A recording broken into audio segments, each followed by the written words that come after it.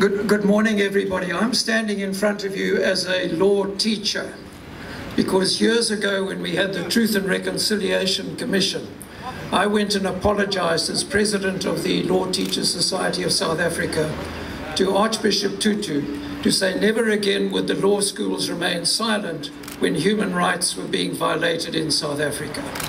Apart from my colleague Yusuf Vada here and one of my other junior colleagues, there isn't a big turnout from our law faculty. I'm not sure what's happened in the other provinces, but one of my missions is going to be to mobilize all those law schools again and get them actively involved in protecting human rights.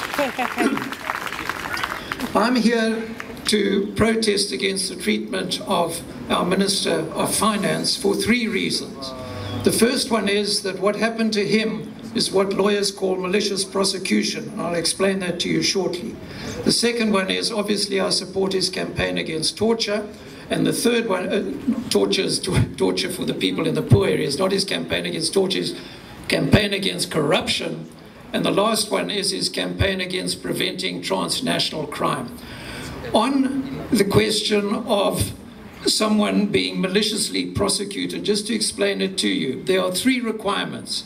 The first one is that you have to have acted maliciously for someone to be prosecuted. The other one is that you've got to have no reasonable and probable cause.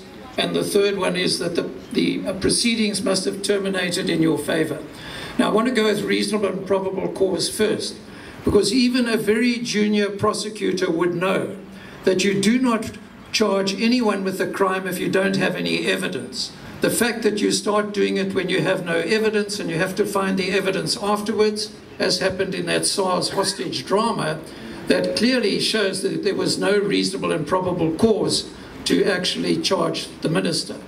The second one is that you've got to have acted maliciously, which means that you don't have an honest belief in the person's guilt or you act from an improper motive.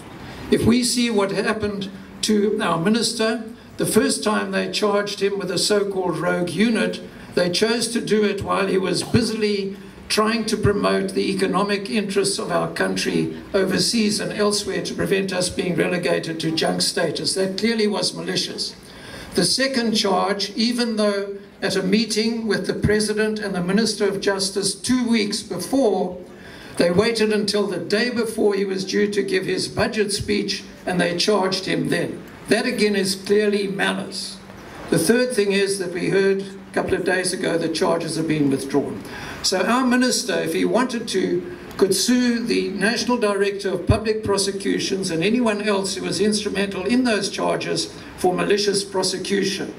And he could claim not only damages for anything to his pocket, but also for the hurt and, and the insecurity and the pressure that was put upon him as well.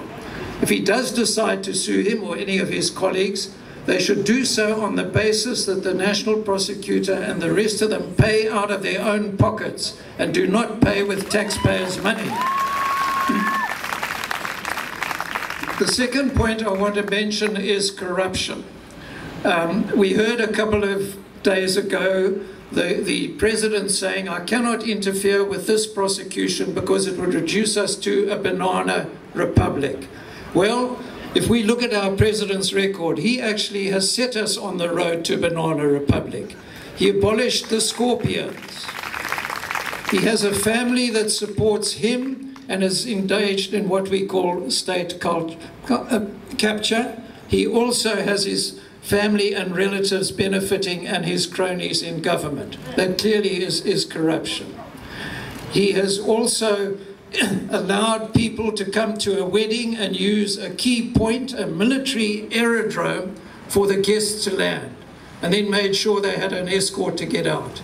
He violates our international obligations by not arresting, having someone arrested and giving false information to the courts that the person, they didn't know where the person was, so that that person who's known to be someone who has created genocide in his country gets away.